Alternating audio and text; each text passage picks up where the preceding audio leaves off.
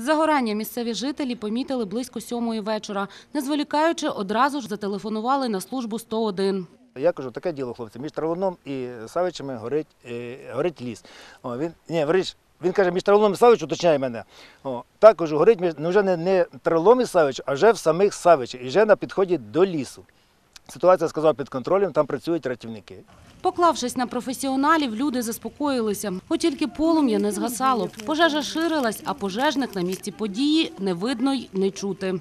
Я би, щоб впевнитися, що дійсно працюють, там рятівники взяв, е, пішов в зону цього ліс. Дуже швидко ця пожежа дуже швидко розповсюджується. Вона вже зайшла в зону, так сказати, соснову, там, де березу воно вже пройшли, де суха, суха трава, а вже зайшла в зону е, соснову цього. І там, по-моєму, вже навіть небезпечно знаходиться.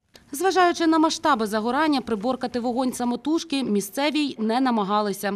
Ми власними силами даний пожар не можемо е, е, потушити, тому що у нас тут декілька чоловік, а пожежу необхідно е, гасити е, відповідною технікою. Ані техніки, ані особового складу із приїздом пожежні не квапилися. На місце події прибули більше як за годину після виклику біля 9 вечора. Чому зволікали, пояснюють просто. Пожежа в лісі не їхня компетенція. Я вам об'ясню ситуацію. Значить, всі лісові пожежі питання відповідно до правил пожежної безпеки у Україні в лісах є е, відповідальні лісокористувачі. В лісокористувачах є, значить, відповідні служби, тобто автомобілі. І вони є на пожежі керівниками гасіння пожеж. Вони можуть нас просто залучати.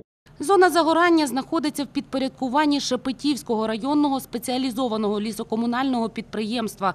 Відтак локалізувати вогонь мали б саме вони. Крім того, горів не ліс, а трава. Відтак особливих збитків ніхто не поніс. Пожежу ліквідували вчасно, кажуть рятувальники.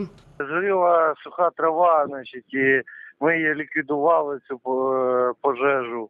Тобто там е, не ліс не постраждав, нічого не постраждало.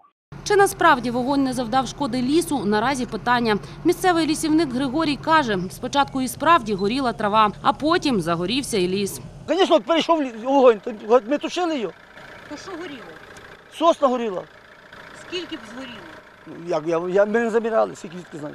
Як то кажуть, хто зволікає, той втрачає. Яку шкоду наніс вогонь цього разу, визначатимуть екологи. Вони вже працюють на місці події.